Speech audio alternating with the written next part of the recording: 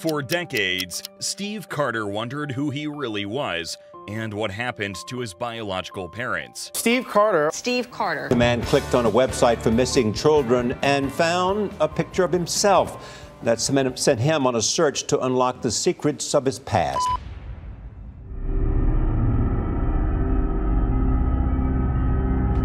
It was a miracle that he found himself a whole 35 years after disappearing along with his mother. As excited and happy as he was about finding his family, he also felt brokenhearted because the story behind the disappearance of his biological mother, who is still listed as missing, is quite hard. To this day, no one knows what happened to his biological mother, Charlotte Moriarty. This is their story beginning with Steve's journey to finding himself, followed by the events that led to the permanent disappearance of his mother. At the age of three and a half, Steve Carter was living in an orphanage in Hawaii, where he has been since the age of six months. As an orphan, Steve was lucky because Unlike many orphans who end up moving from one foster home to another or experiencing problems, never finding a warm home and a good family to take care of them, he was adopted by a good, stable family that loved him very much from day one. Even though he was three and a half, he still remembers the day when the social workers introduced him to his new parents, Stephen and Pat Carter from Oahu, Hawaii. His new mother, Pat, was a special education teacher, and Stephen was an army man at a nearby U.S. military base. They loved little Stephen from first sight. From that point on, his life was full of love, warmth, and stability. Nevertheless, as he grew older, he often wondered about his biological parents and why they left him. A whole 30 years later, he finally got a break in 2010 after realizing that there was something strange in the dates associated with the time he arrived at the orphanage and the date on his birth certificate. It did not make sense, so he changed his search strategy because he also suspected that there was something wrong with the narrative he was told about his mother. At this time, he had an excellent job at a successful biotechnology firm in Philadelphia, and he felt more compelled than ever to find the truth.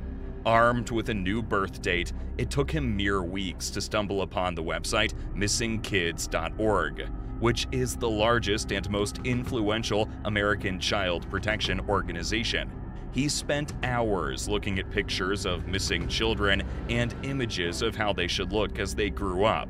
And boom, there it was. An image of a baby in his mother's lap next to a picture of how he should look as an older child, and another as an adult. He knew that it was him. He felt that it was him. The child was called Marx Moriarty. So he called the Missing Kids organization and began the long journey of confirming that it was him. The DNA test took eight months, and in October 2011, the final confirmation arrived. It was him, and his real name was Marx Moriarty.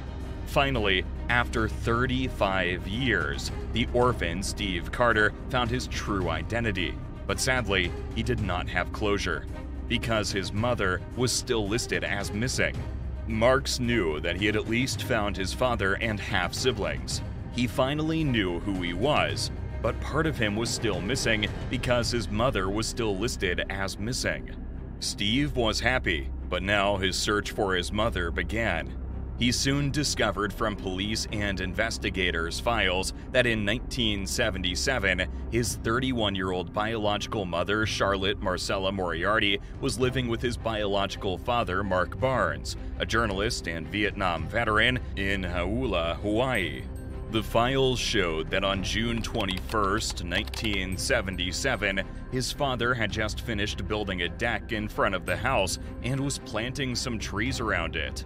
As his father, Mark, worked in the garden, his mother, Charlotte, placed him in a stroller and told Mark that she was going to do some shopping in a nearby store, about three blocks away.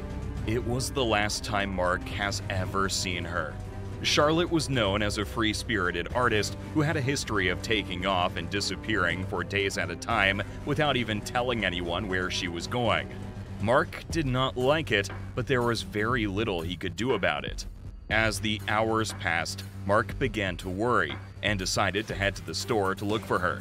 He was unable to find her, and to his dismay, the store clerk told him that she did not come to the store on that day. However, he did find the stroller nearby, but Mark's was in it. Mark felt worried and confused. However, he was also used to Charlotte doing such things, so he assumed the best and guessed that as usual, she would simply soon return.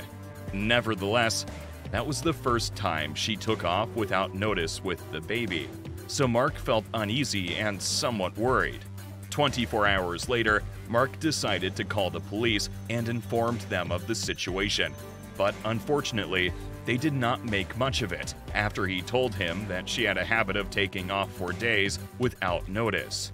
All the police did was ask him to call back if she did not show up soon. The next day, Mark decided to go look for her and once again called the police to update them on the situation. This time, they took down the details and vowed to look into it. For two and a half weeks, Mark searched for his wife and child and also did not hear back from the authorities. So, on July 10th, he walked into the police station and demanded an update. Sadly, he could not even find who he spoke to the first two times, and the police denied ever talking to him. Anyway, it was only then that he was able to file a missing person report and forced the police to take the case seriously. The police were unable to find any leads, so they went after Mark, citing the recent changes he made in the grounds around his house when he built the deck and planted new trees. However, they found nothing, and soon the case went cold. Mark's life was turned upside down as he spent the next one and a half years searching every corner of Hawaii. He literally drove all over the island looking for her and distributing flyers with photos of her and little Marx. These horrific details in the files left Marx feeling great unease. Why did his father wait so long to go to the police station? But more importantly, why didn't the authorities connect the dots? Because, in reality, Charlotte was not missing in the first few days after she took off.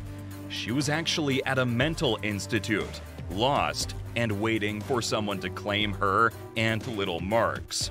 If it was not for the name change she made when she was brought to the mental institute, Mark, Charlotte, and Marx would have never been separated. What happened is that Charlotte was suffering from an undiagnosed mental illness. Mark did take her to psychologists for treatment, but they never gave her the right diagnosis and thus were unable to treat her. This mental illness was the reason why, on the day she went shopping, she instead ended up in a woman's home on the other side of town. The woman who found her called the police, and when they arrived, they found that Charlotte needed medical attention. So, she was taken to a mental care facility while Marx was taken into protective custody. It was then that she gave them the false names Jane Amy and Tenzin Amy for her and her son Marx. This is why the authorities did not connect the dots. Back then, things were messy, and the police did not exactly have sophisticated computers and systems like we have today. The healthcare system was not all that great either because Charlotte was able to leave the facility on her own will, and the staff never bothered to tell her that she forgot about her little boy, Marx. Interestingly, Steve also found while sifting through the files that his mother was married in 1967, years before she met his father, and had a daughter called Jennifer. Amazingly, it was his older half sister Jennifer who never gave up on finding her mother. And she was also the reason his case was listed on missingkids.org in 2001 because she was looking for him too. The saddest part of this story is that no one to this day knows what happened to Charlotte after she left the mental care facility. Thank you for watching, and please do subscribe, like, comment, share, and ring the bell to get notified every time we upload a new video.